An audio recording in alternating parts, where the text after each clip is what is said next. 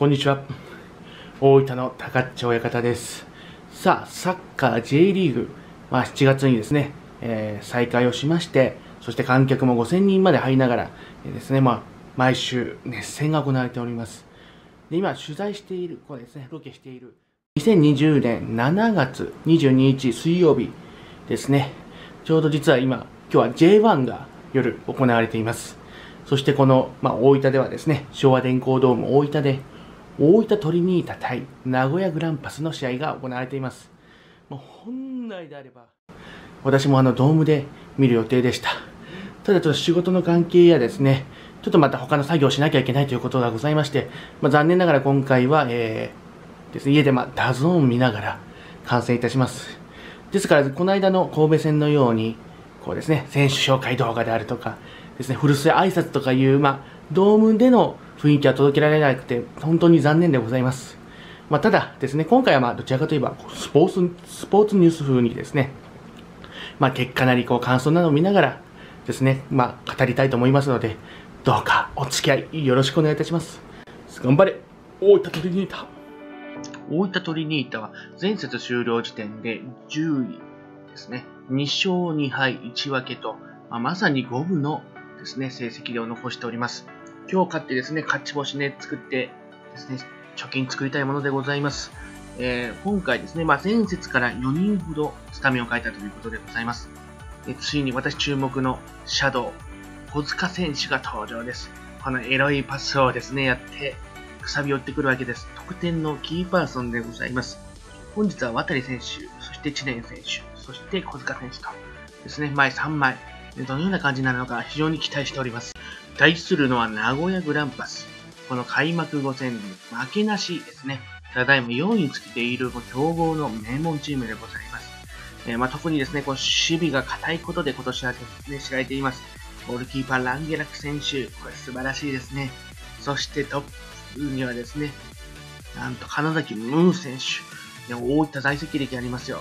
控えのゴールキーパーには武田洋平選手とですね、もう注目の選手が揃っている。非常に強いですね。まあ、ここでですね、ホームで名古屋に勝てば、今後リーグ戦かなり期待できると思います。いやあの、ムー選手、恩返し団やめてよ、ほんと。早速結果でございますが、3対0で名古屋が勝利いたしました。もうね、名古屋ほんと強いですね。えー、まずですね、前半31分、名古屋ディフェンダー、吉田選手が決めまして、1点先制。まあ、個人的にはですね、サカントスのイメージが強いディフェンダーでございます。そして後半開始早々3分ですね、こちらフリーキックから丸山選手が決めました。まあね、ちょっとゴール前の混戦でどうなったかわからないんですけども、スポット決めました。そして後半28分です米村選手のスーパーシュート。これはもうですね、なかなかゴールキーパーも止められません。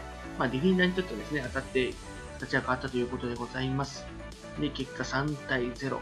えー、勝った名古屋グランパスは、なんとリーグ2位に浮上。6戦負けなし。そして敗れた大津トリニタ2連敗悔しいです。えー、勝ち点7のままで順位を2つ落として12位という結果でございました。ということで、非常に悔しい結果となりました。やはりこう名古屋も強いですね。で、大分もね、なかなかこう、距離選手とのですね、まあ、距離感とか、また連戦の疲れもあったんでしょう。非常に悔しいですね。まあ、今、大分トリニダー12位で、名古屋グランパスはですね、2位まで浮上しております。さて、次節は7月26日日曜日ですね、大分トリニダはアウェーです。清水エスパルスと対戦いたします。まあね、清水エスパルスといったら、そう、フォワードの後藤祐介選手。そしてディフェンダーの福森直也選手ですね、大分在籍歴ある、もう若きですね、攻撃と守備のですね、ホープでございます。まあ、これ燃えないわけいかないでしょう。特にですね、あの、後藤祐介選手と私、あの、一度一緒に握手や写真撮影もしたことありますし、最後、清水にですね、移籍するときにも、えー、お別れ会にも行ったぐらいですから、えー、ですね、まあ、注目でございます。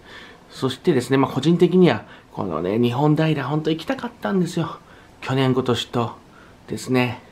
まあ残念ながらちょっと今年はまだですね、アウェイの客をですね、受けられないということで、えー、今年はまた DAZN で 観戦をいたします。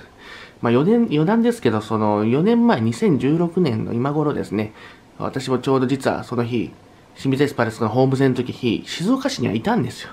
静岡県にはいたんですけど、残念ながらちょっと違う用事で行けなくて、もし、この日本平その日行ってたら、あの、群馬との試合だったんですけど、伝説の8対0の試合を私目の当たりする、ね、ことになってました。まあ、どうですかね、清水、ね、静岡行きたいですね。